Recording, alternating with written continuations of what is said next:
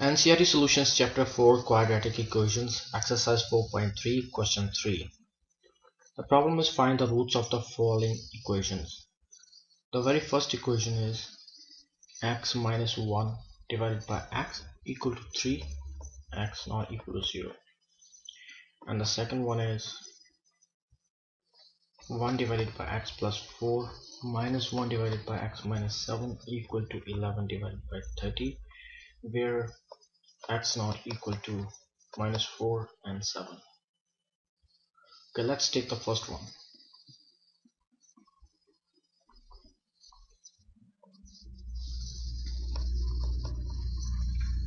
Now considering the left hand side x would be the LCM now x divided by 1 is equal to x and x times x is equal to x squared. And x divided by this x is 1 and 1 times 1 is equal to 1 and the right hand will be as it is. Now I can cross multiply here.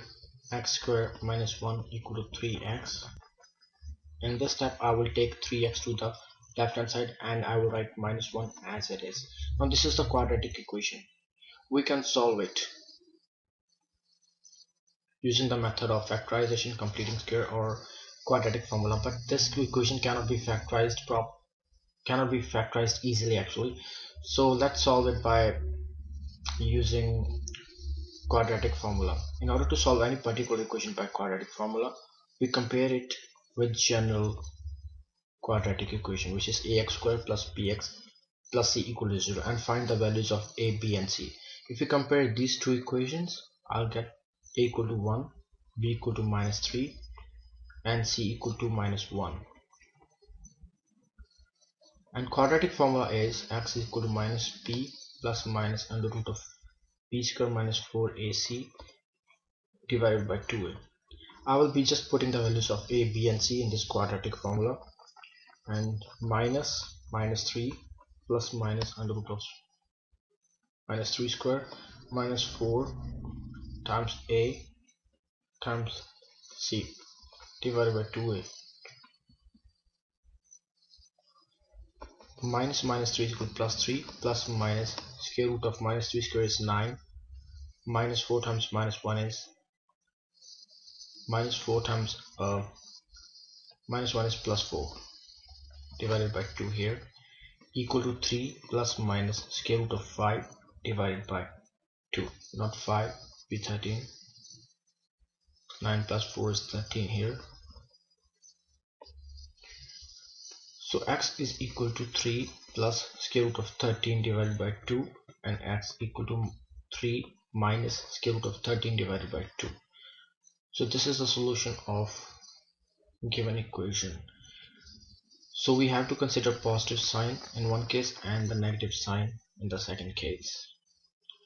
Now the second problem is 1 divided by x plus 4 minus 1 divided by x minus 7 is equal to 11 divided by 30 x not equal to minus 4 and 7 here. Now in the left hand side I can take LCM here. LCM would be x plus 4 x minus 7 now this whole LCM divided by this x plus 4 I'll get x minus 7 and x minus 7 times 1 I'll get x minus 7 here and x plus 4 here equal to 11 divided by 30 now I'll open brackets here. X minus 7 minus x minus 4 divided by x plus 4 x minus 7 equal to 11 divided by 30 this implies this x and this x can get cancelled minus 7 minus 4 is minus 11 and x plus 4 here and x minus 7 here and 11 divided by 30 here.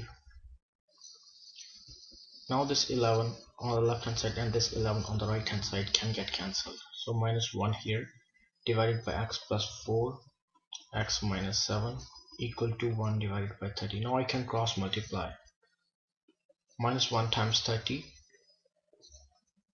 is equal to minus 30 and here I get x plus 4 times x minus 7 so here I get minus 30 equal to now x times x is equal to x square x times 7 x times minus 7 is minus 7x 4 times x is plus 4x minus 28 so I get here now I can take this minus 30 to the right hand side. And the right hand side is x square minus 7x plus 4x is minus 3x minus 28 plus 30 to the right hand side.